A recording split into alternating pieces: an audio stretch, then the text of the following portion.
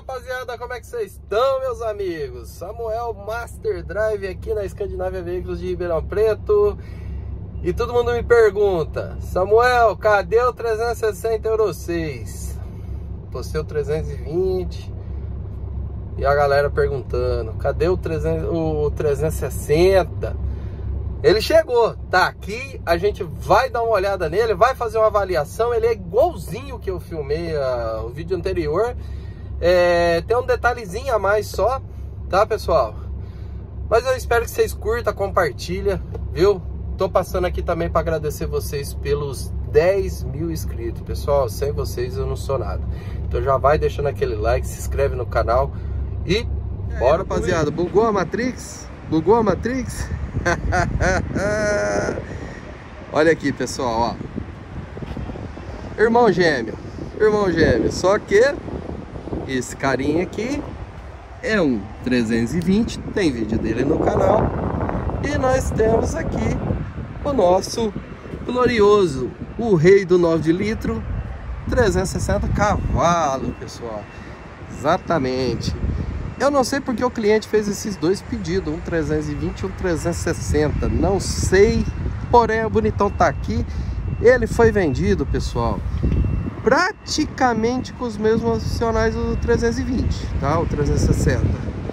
Mas tem dois detalhes que não tem no 320, tá?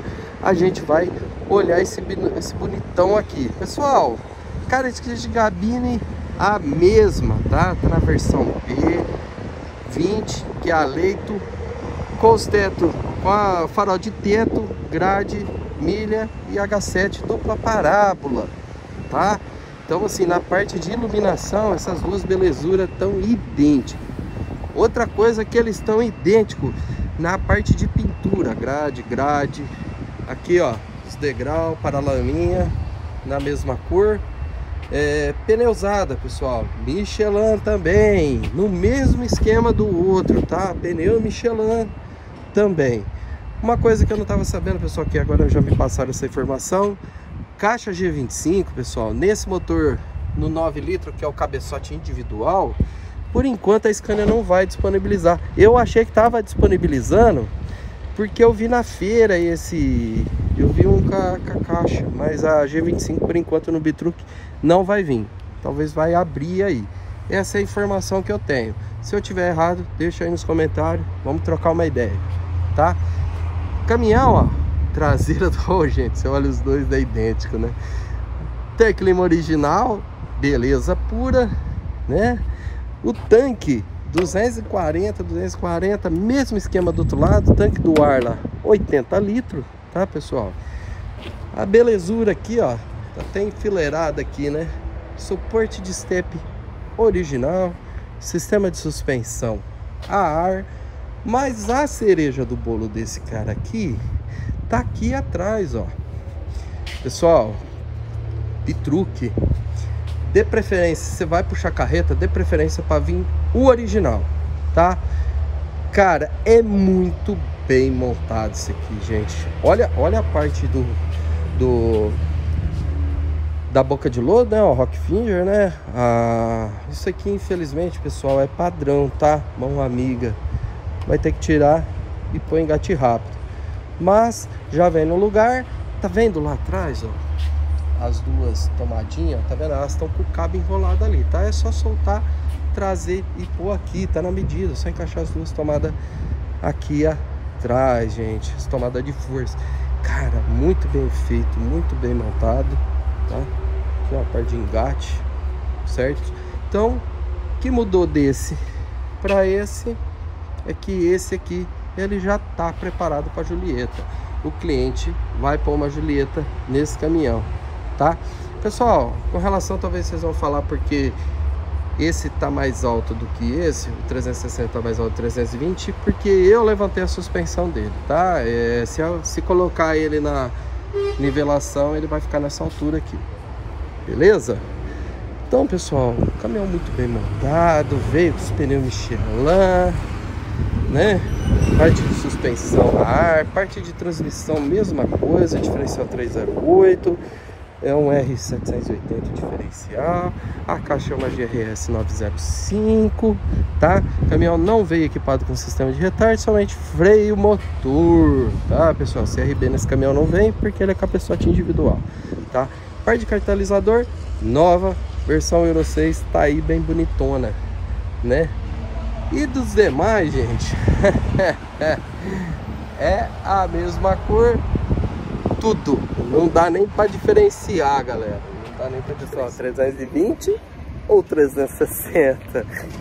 A dúvida de todo mundo que é, é, é, é. qual que você monta? 320 ou 360? Não precisa nem perguntar, né, galera? Vamos dar uma olhada nesse caminhão por dentro, que ele tá show de bola aqui também. Na parte aqui, tranquilo, né? Ah, nessa parte aqui de configuração interna, ele ficou idêntico ao outro também, tá?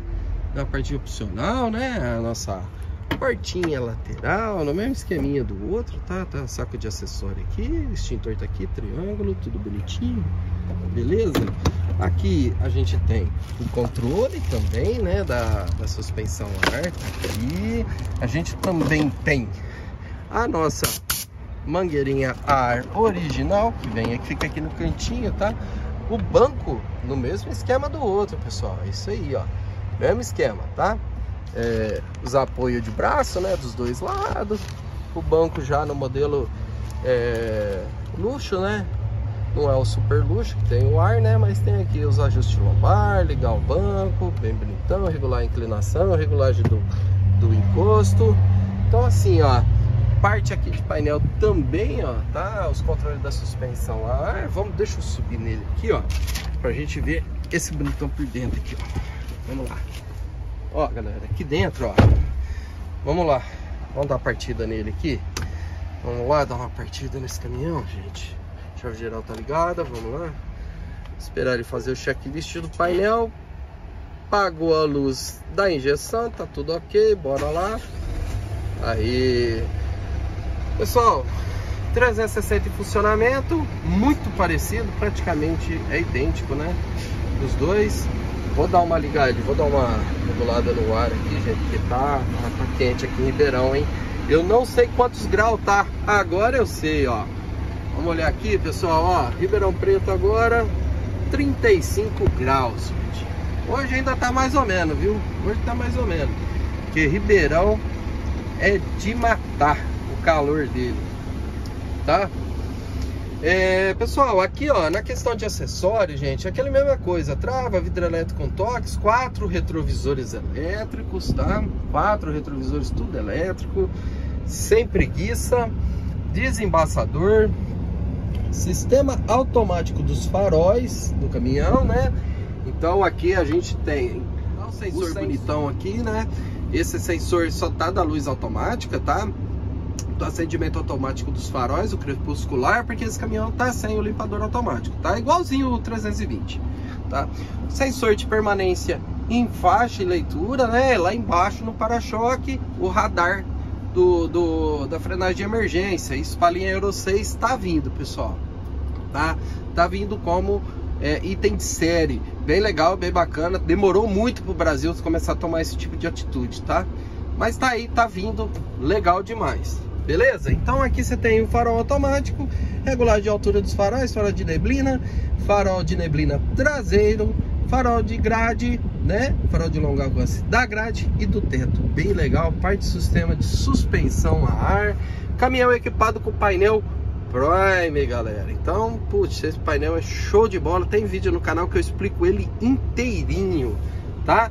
Aqui nós temos nossa alavanca de seta, né? Relampejos faróis, farol, o limpador, tempor, o tempo do temporizador, né? Pra você regular o tempo do temporizador, jogador de água, piloto automático com previsão ativa, né? Todo mundo já conhece aquele piloto automático que ele reconhece até a topografia até 3 km para frente, caminhão equipado com eco roll e controle de aceleração para trazer mais economia aí tá pessoal?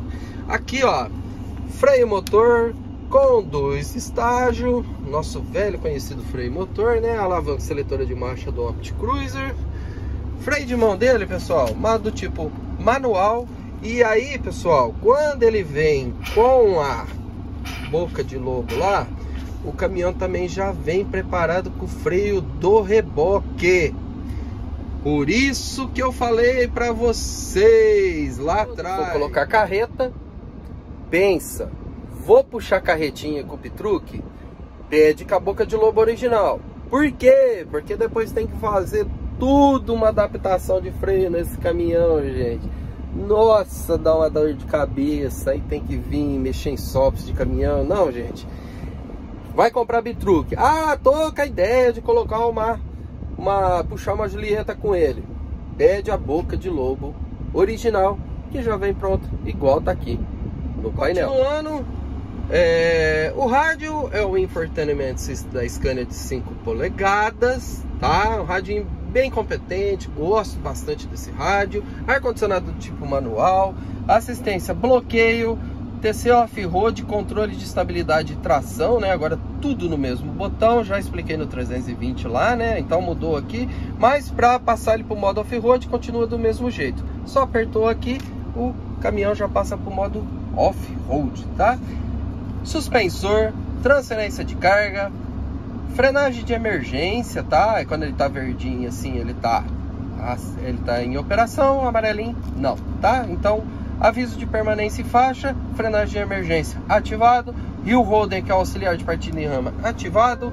Caminhão já veio também com a preparado com tomada de força, sistema de iluminação convencional, com as luzinhas de cortesias, né?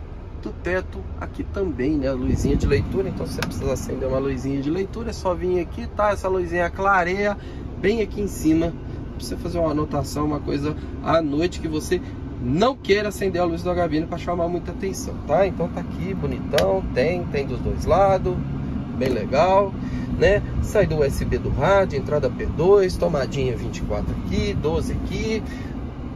O caminhão veio equipado com porta-luvinha, o diferencial que eu falei do outro é que o outro veio com banco convencional. Esse veio com banco mesinha, tá, pessoal? Então, do jeito que ele tá aqui, ele vira uma mesinha, dá para você pôr as coisas em cima. Se você quiser, você levanta ele, levanta o encosto dele, ele sobra mais espaço ali também. E aqui o caminhão é equipado com a cortina central, galera, e cortina lateral, original, tá, pessoal? Quando for comprar caminhão, dá uma pensadinha, uma pesquisada. Essa cortina não custa cara, fica bem legal. Gosto bastante, tá?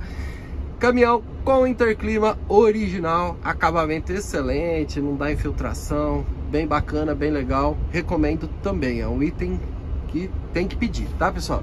Caminhão no teto normal, com essa a, a, o, o porta-malinha aqui de cima no, no, normal, né? Tacógrafo digital. Agora tem um negócio nesse caminhão aqui, pessoal, que eu vou mostrar para vocês. É, em homenagem ao Lucas do carro-chefe, que é bem da... Galera, para o Lucas do carro-chefe, que pega no pé das montadoras que monta carro sem alça PQP, tá aqui, ó. Aí, Lucas, ó. Até Scania tem alça PQP, viu? Pode cobrar os caras de carro aí, tem que pôr alça PQP. Ó, para ajustar aqui, ó, no banco. Aqui, ó. Ó, ó. Pessoa que tem uma mobilidade mais reduzida. Aqui, ó. Tem alça PQP aqui. Bem da hora também. Um abraço, meu nosso tour por dentro da gabine. Ah, luz de cortesia traseira, né? Como sempre, a nossa cama aqui com 80 centímetros de largura, porta-teca lateral, porta-treco no teto. Pá. Então o caminhão tá recheado, tá? Ah, no mesmo estilão do outro, certo? Alça PQP para o passageiro também, tá? É, galera, bastante coisinha, novidadinha. E a nossa famosa geladeira de 30 litros deitada. Não é funda, mas é uma excelente geladeira, gosto demais. Até acho que o, o cara que veio de São Paulo com ele tava usando ela, tá meio fria. Provavelmente ele deve ter colocado vindo gelando a sua água, seu refrigerante aí. É bem legal, gosto bastante, tá pessoal? Então aí que eu tinha mostrado para vocês, o encosto de braço com regulagem, né? Então se você colocar o encosto aqui e achar, é só você ir regulando a alcinha aqui. Você pode subir ou descer o encosto de braço para ficar da melhor forma possível. Bem legal também. Gosto demais, gente. E do resto, o Bitruc que a gente conhece, que é um excelente caminhão. É, rapaziada, falei pra vocês que tinha uns acessórios diferentes, falei pra vocês, falei. Quem ficou até o final do vídeo, viu os acessórios, deixa aí no comentário o que, que vocês acharam. Pessoal, já não esquece de curtir, compartilhar, ajuda nós aí, ó. Chegamos a 10 mil inscritos, pessoal. Olha que legal. Quando eu comecei com o canal, nunca pensei que eu ia conseguir, é, sei lá, sabe? Comecei a fazer o canal para trazer novidade para vocês e hoje estamos aí com 10 mil inscritos e eu quero agradecer vocês. É, você aí, você aí que tá aí atrás, curtindo, comentando, ajudando a gente, tá? Não só eu, como qualquer produtor de conteúdo. É vocês que faz a pessoa dentro do YouTube, porque vocês comentam, vocês curtem, vocês compartilham, tá pessoal? Então, não só eu, como qualquer outro que começar aí que vocês achar legal, curte, ajuda a pessoa, né? A ter um lugarzinho para todo mundo nesse mundo. Beleza, pessoal? Vou deixar mais dois vídeos aí de indicação, tá? No, aí dois cards para vocês é, é, olhar os outros vídeos do canal, tá, pessoal? É, diga aí nos comentários o que, que vocês acharam desse 360 aqui. Ficou legal? Mudaria a cor? Não mudaria? Quero saber de vocês como é que ficou. Tranquilo, pessoal? Vou ficando por aqui. Um forte abraço e até o próximo vídeo.